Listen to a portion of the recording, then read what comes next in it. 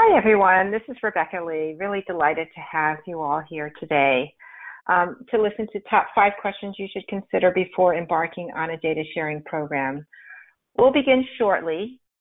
Uh, I just wanted to mention a few logistical things. So today's program is live and will be recorded for future distribution. We will be sending a link to the recording and the slides shortly. So a few things just to note for our WebExes is to post your questions via the chat.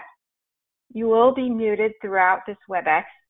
So if you have any technical difficulties or any questions as we go through, please do post your questions in the panel to the right of your screen.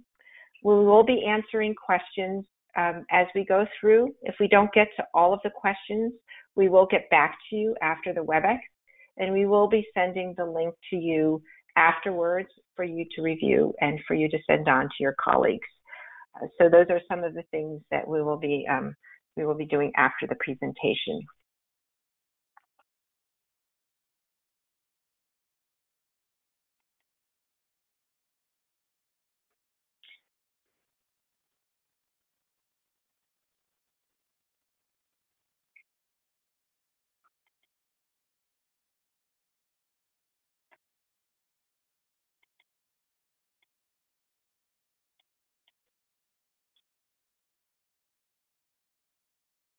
So I see that a few more people are logging on. I'll just wait one more minute before we get started today.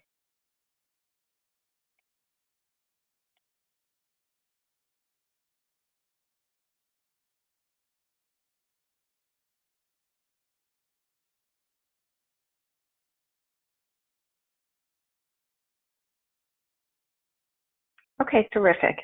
So again, you will be muted throughout this program, and then if you have questions, please do put them in the uh, pane to your right. So this is our agenda today. We at Vivli often receive inquiries along the lines of when should we implement our data sharing program?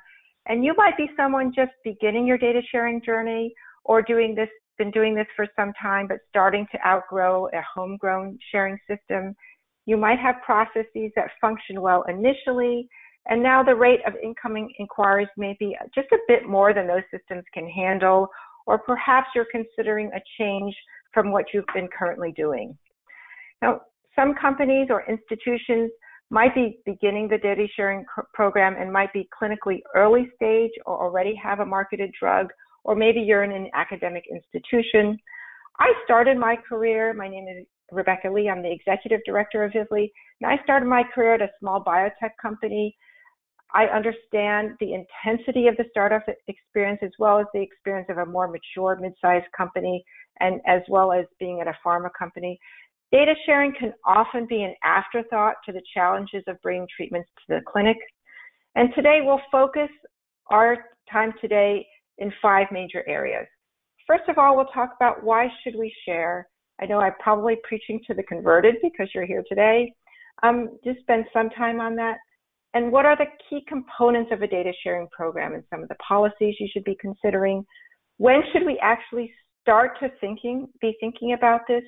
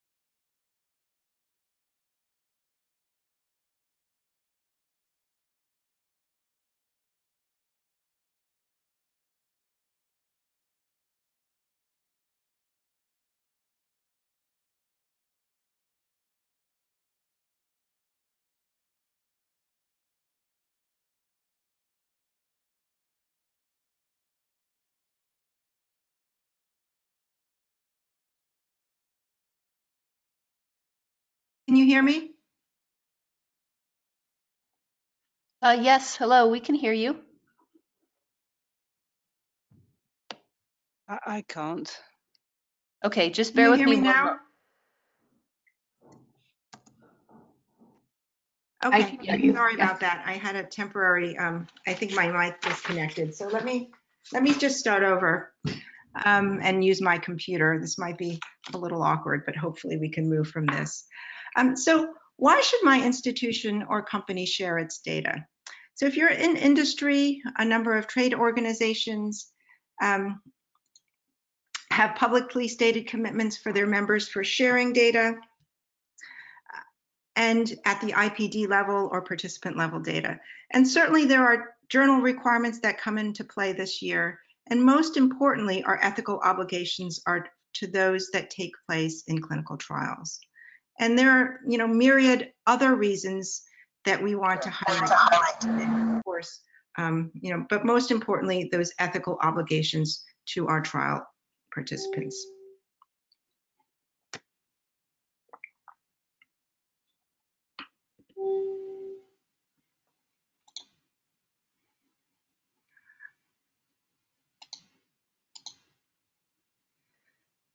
In terms of trial registration, data sharing is really part of the clinicaltrials.gov registration record.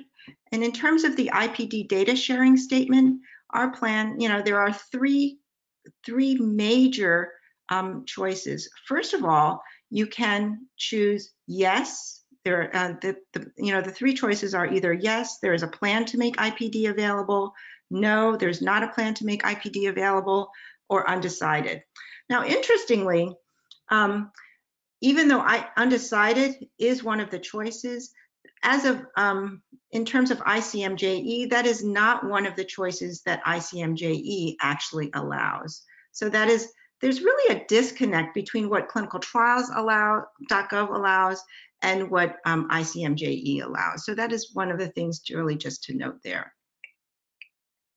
In terms of what journals have started requiring as of July 1st, you know, ICMJE's what major journals are included is um, New England Journal of Medicine, JAMA, The Lancet, BMJ, Annals. Trial manuscripts really must be submitted with a data sharing statement, and that includes how you'll share your IPD, who, what, when, where, and why.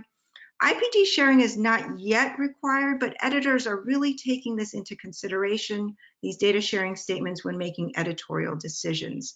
So those of you that will be submitting a journal publication, this is exceedingly important so that, you know, we've covered really what are the obligations for these trade organizations, as well as, um, you know, what journals are requiring as well. And then lastly, you know, and, and very importantly, what are patients really expecting? More, more and more patients are expecting that data sharing is coming out of, you know, their very personal contributions. Um, so that's what we're hearing. And these are some of the tweets from a summit from data sharing hosted from the New England Journal in 2017. So next, let's go through, I mean, we, I know I'm preaching to the converted, but what are the key components of a data sharing, a data sharing program? Three of the major elements that we ask our members to consider is first of all, policy. Um, what are the data sharing policies that undergird a successful data sharing program? The mechanism, how you'll actually share. And thirdly, what resources need to come to bear for a successful data sharing program. So let's step through these one by one. So what we found in our experience is in the area of data sharing, transparent external data sharing really tends to equal good public policy.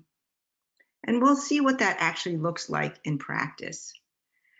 Data sharing policies very much vary based on a sponsor or institution's current portfolio, experience with data sharing, and quite frankly, risk tolerance. So we'll, I'll show you some real examples of what that might look like, and we can have some discourse. Um, we often sit down with our members to talk about where you might be based on your current portfolio and what you might tolerate in terms of your data sharing policy. So, you know, it very much varies and is customized, but we'll give you some good examples on data sharing policy, and we'll just touch upon that briefly today. So in terms of key considerations when formulating policy, at the very high level, thinking about key questions. So I'm um, just boiling this to the top four questions to think about, some of the major decisions you'll make as you formulate your policy. Um, which studies will you share? Are there exceptions to sharing these, um, these studies? On a specific questions, uh, re request or proposal, who would be the primary decision maker and would you delegate that to another body? And what are the review criteria? So how are, how are um, decisions made? So let's step through these in a little bit more detail and think through some of the considerations that would underlie these as you think these through. Okay, so let's take the first one. What studies would you share, right? So this, of course, would be different for an academic institution, a foundation, or more of a startup, okay, so a biotech company. So when we think about this policy, many times it might be overwhelming, right? So we might think about starting from a date forward. So oftentimes we talk with, with our partners about picking a date and going forward from there. Um, so that you might want to think about a date in which you would be comfortable sharing forward and then thinking about certain phases, right? And we know uh, for those of you who might be members of Pharma EFPIA, they have certain policies, but you might want to pick a date forward from where you might be comfortable sharing, and then whether you'd be comfortable sharing both submitted and approved products or narrowing that scope somewhat further. So those are the three major areas that you might want to consider a starting point for sharing. So let me give you just a little bit of an example to make this more concrete. So here are some real um, more examples. For example, uh, example one is we will share interventional clinical trials conducted in patients phases one through four for products and indications submitted and approved since 2002 uh, will be shared. So that's more of a broad sharing. Um, an example one from that institution.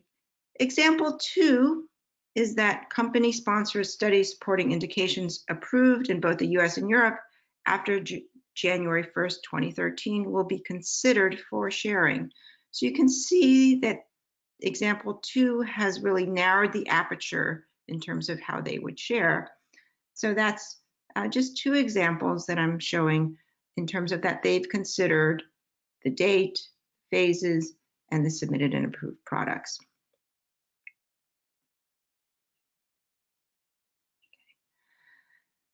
So once you've kind of thought those three questions through, we can think about exceptions to sharing. Right? So how are you going to refine that even more?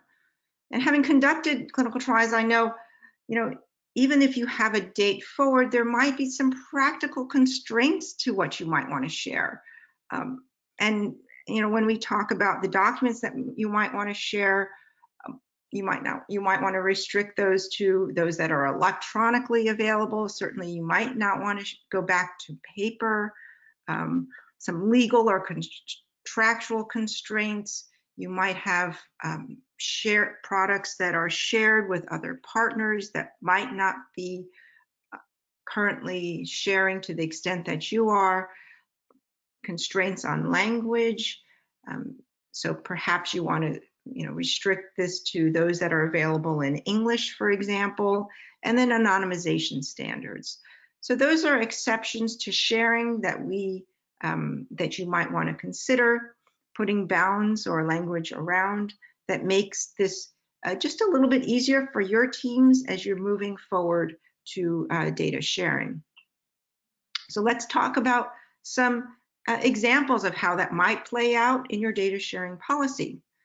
So for example, studies where there is a reasonable likelihood that a patient's anonymity can, cannot be maintained, for example, in very rare diseases, studies with a very low patient numbers, or studies performed at a single center.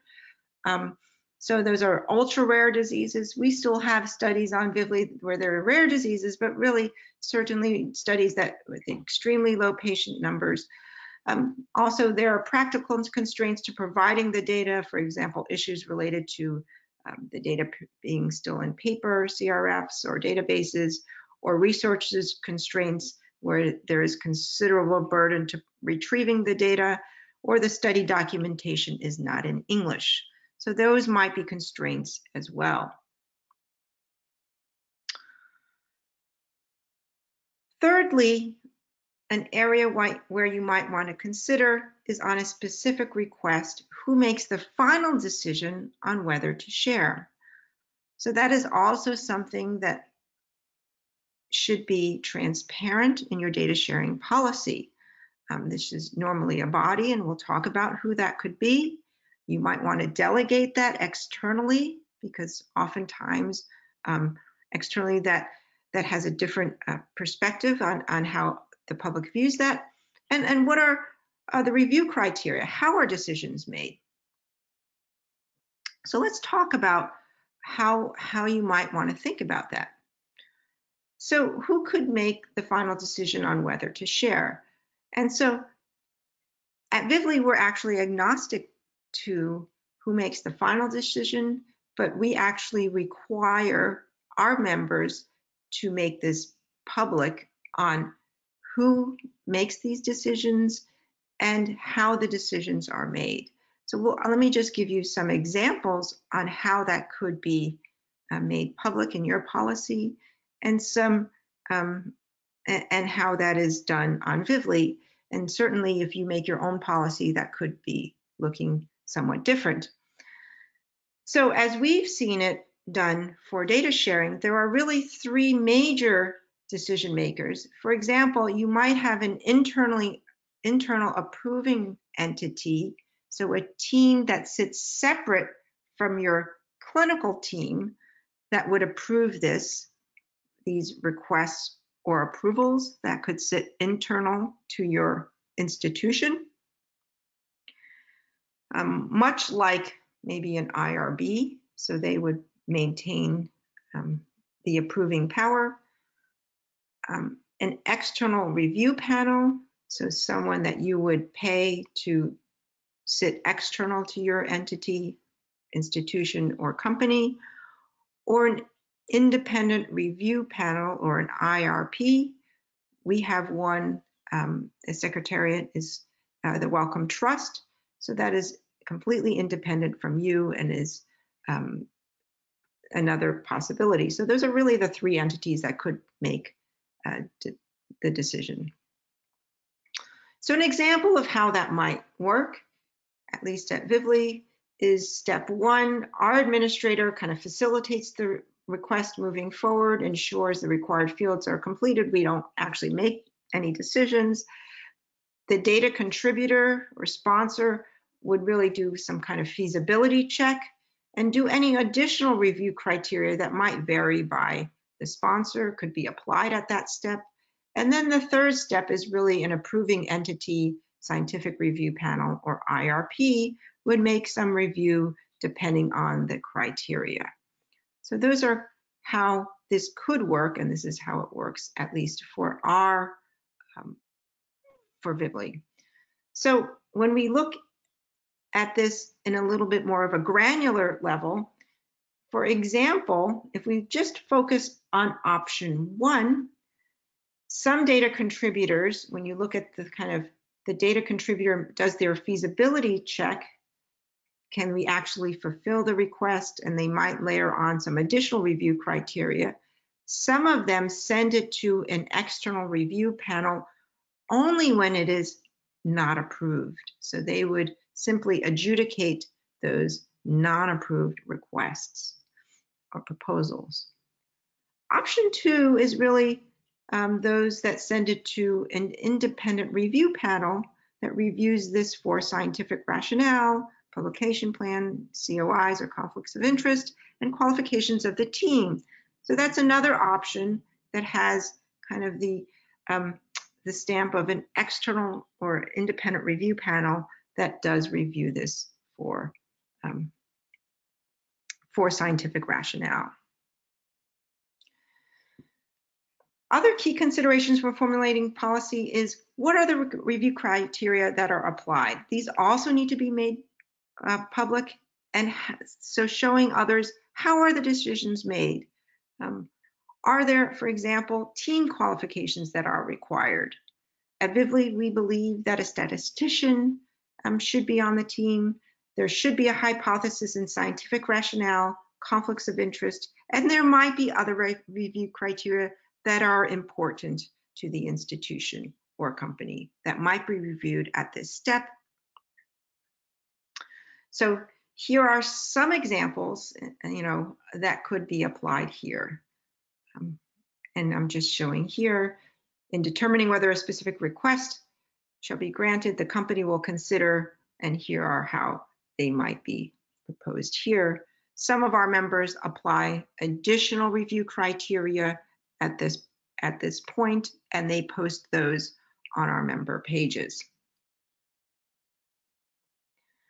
Now,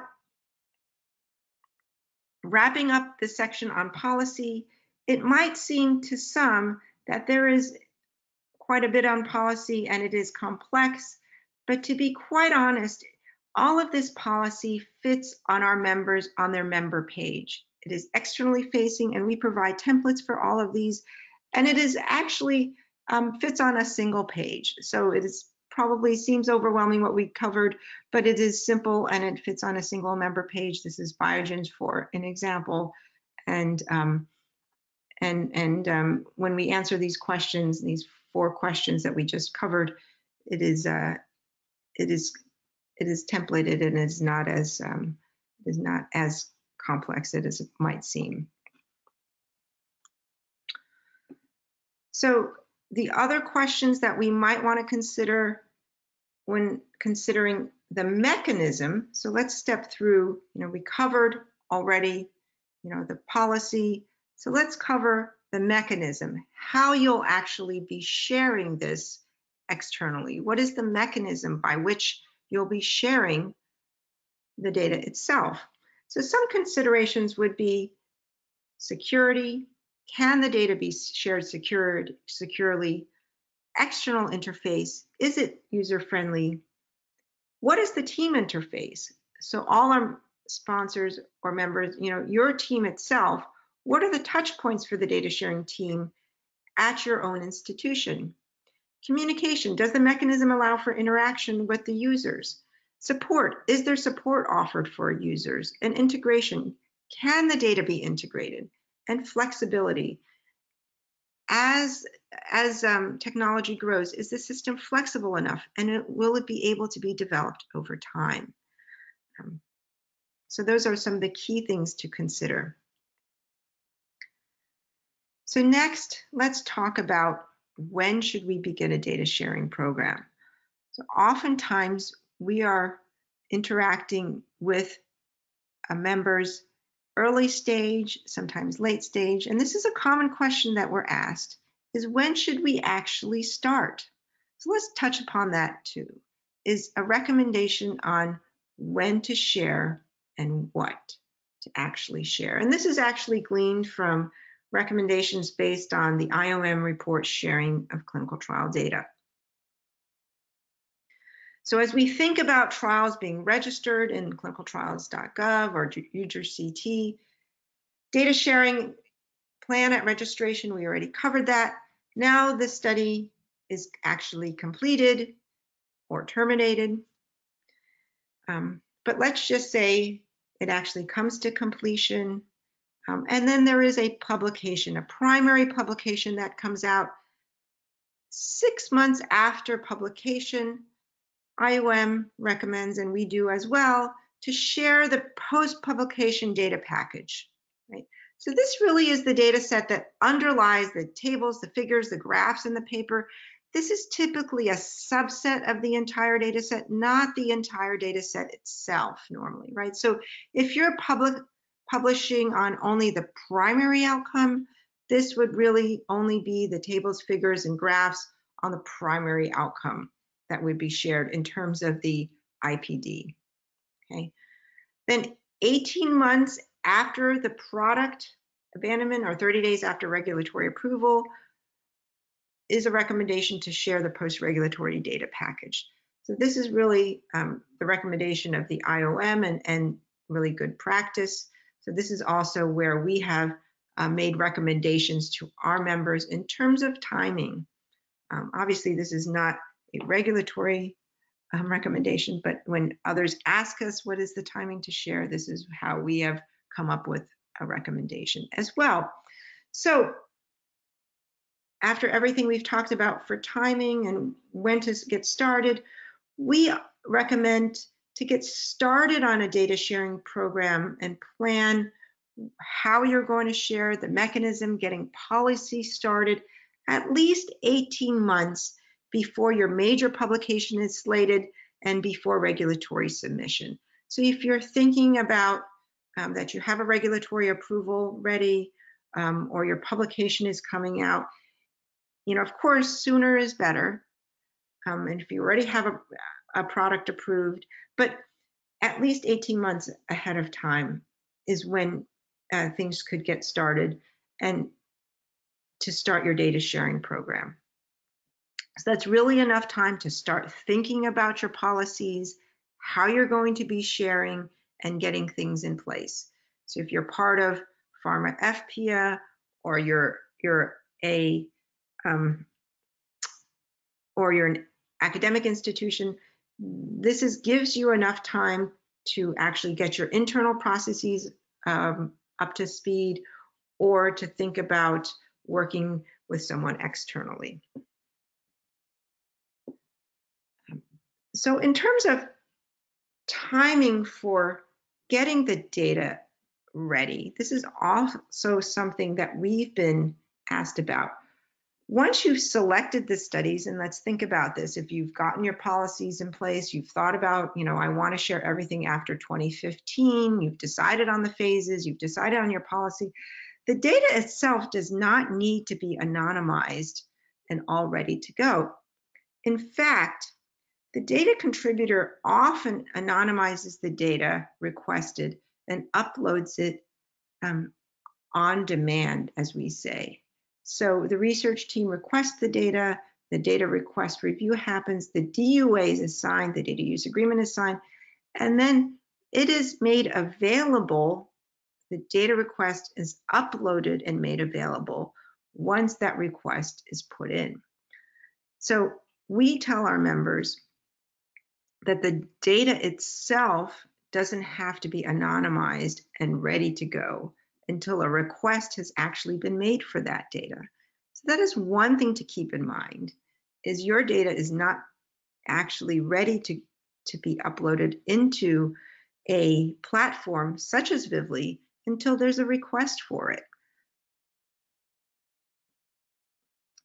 So let's talk about the what data part. So what data should be shared? So we have a recommended data package set that includes the protocol, the data dictionary, which is the detailed descriptions of variables, the SAP, the clinical study report, that is for industry members, and then of course the raw data itself. Um, optional items could include the analytical code, the AR, the anal analysis ready IPD, and the CRFs, the case report forms. So this really comprises the complete data package, as we call it.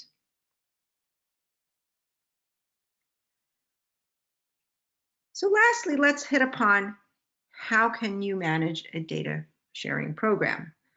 So, um, you know, many manage this successfully in-house to build, manage, and update a platform. Um, having a team ready internally, resources to manage the platform is also something to consider.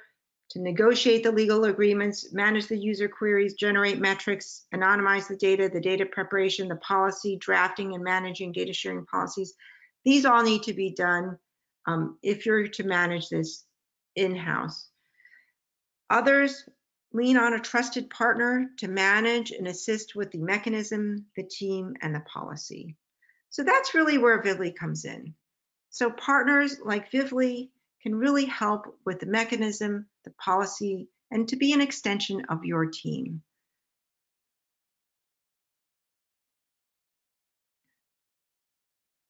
So those are really the three sections, you know, the policy, the mechanism, and the resources. The Vivli solution really comes into play where we provide expertise in policy development. We have harmonized agreements for users. In terms of a mechanism, we have the platform to securely share your data. And of course, our team really manages user queries as well. If you're interested in scheduling a demo, certainly we can discuss how Vivli can help you to embark on your data sharing program. So that really, I mean, we're delighted to have you join us today, and, and certainly this ends the formal part of our presentation. Um, if you have questions, I'm happy to answer them. Um, in the chat, I know Julie's been answering questions as we've gone through here today. So thank you so much for joining us, um, for joining us today. Thanks again.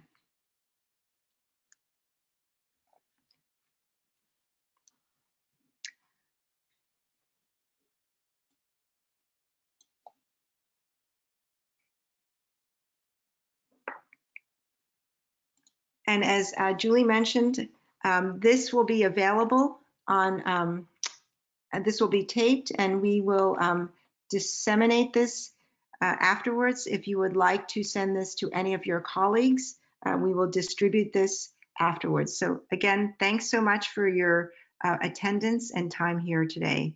Thank you.